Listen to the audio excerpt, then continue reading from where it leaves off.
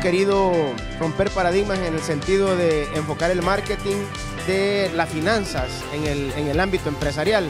Consideramos que es un aspecto muy novedoso porque en muchas oportunidades el, el, marketing se mira desvinculado ¿verdad? De, la rentabilidad.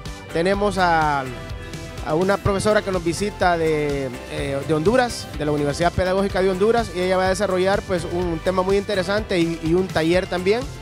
Tenemos eh, al licenciado Daniel Alarcón, es un profesor eh, de maestría de nuestra universidad pero también es alguien eh, que se ha desempeñado pues, en el área de consultoría empresarial y alguien pues, de muchísima experiencia. También pues, tenemos al, ingeniero Ulises Gallegos, que es alguien eh, de mucha trayectoria profesional que está haciendo un, una labor muy importante en una, en una empresa creativa de publicidad.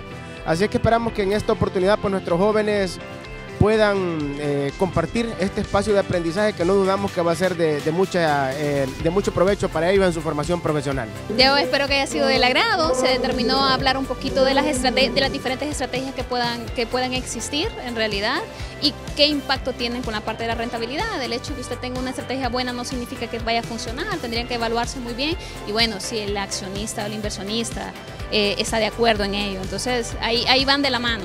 Hola, mi nombre es Gisela Patricia Enríquez Martínez, soy del quinto año de la licenciatura en Mercadotecnia.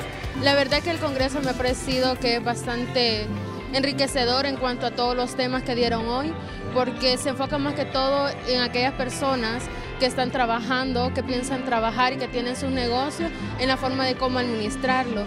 Hola a todos, mi nombre es Wendy Ramírez, yo estudio la licenciatura en Mercadotecnia en la Universidad Gerardo Barrios, Centro Regional Usulután, y este ya es mi quinto año cursando. Para nosotros como quinto año se han tocado puntos que no habíamos visto anteriormente y se han aclarado bastante dudas, pero de igual manera a nosotros nos sirve como una retroalimentación de lo que nos habían enseñado ya anteriormente, pero es bastante bonito que nosotros no tenemos eso como de poder diversificar lo que son las dos universidades, ¿verdad? Y poder compartir ese momento.